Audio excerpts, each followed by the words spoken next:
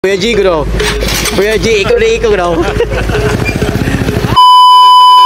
Ug karong adlaw nami diri sa barangay Baylo kaya giadtuan namo si Kuya G Eko Neko. Ug pasensya na kayo mo kung ako ra ning voice over kay di ko gusto makadungog mo sa amo ang istoryahan nga importante kayo. Gituyuan gyud namo siya ganhi diri sa barangay Baylo. Kay kani adto silingan mi ani isa ramig baryo. Ug ingunani ka importante ang among istoryahan karon about sa Siu Time. Kalok alike ba? Kung interesado ba siya mo apil kay na gusto mo sponsor sa iyaha. Ug ingon pa niya dito na ko na istoryahan sa balay. Kay lisod kay diri sa dalan magtabi-tabi tabay. Ug gusto ba mo makabalo kung kinsa ang tao nga nagpaluyo nga mo sponsor sa iyaha? Pero sorry kayo kay nag-ingon si ma'am nga di daw ipasulti ang iyang pangalan kay gusto niya surprise daw sa tanan. Siguro karon hulaan na ninyo kung kinsa gyud bayhana gusto mo sponsor sa yaha. Ilado po kini nga vlogger, hunahunaan ninyo kung kinsa gyud siya. Ug karon padulong na mi sa ilahang balay, naginahini ra mig padagan para safety kayo. Kay napamistoryahan nga grabe ka importante sa tanan. Ug karong adlaw may balaan gyud nato kung unsay desisyon niya, unsay mga plano niya. Kung muguba siya sa oportunidad nga gihatag gi-offer ni ma'am sa iyaha. Basin mauna niyang panahon nga makit-an po niya yung mga idol nga sila Bong Navarro, Vice Ganda, Jong Hilario. Kung nakita ninyo si Kuya G, sige nalagngisi. Tungod kay nalipay po na sa akong gipang sulti. Makita ninyo, murag ni action pag-post si Kuya G. Ipakita lang niya ang iyang tunay nga kagandahan. Hoy, unsa kuno?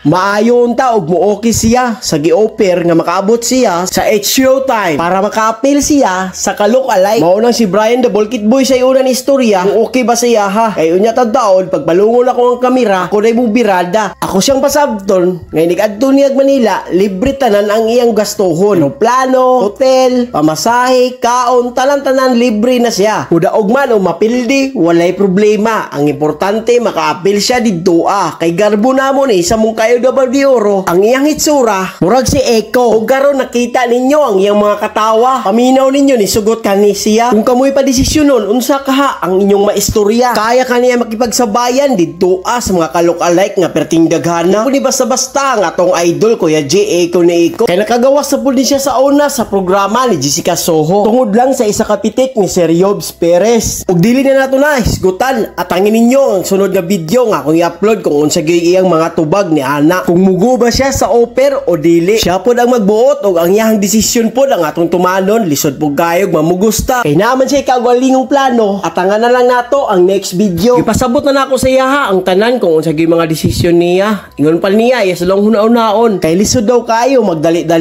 basin daw mapareha sa una. Makalitan siya sa mga panghitabo pero okay ra daw ang importante. Hunaon daw niya sa makadaghan.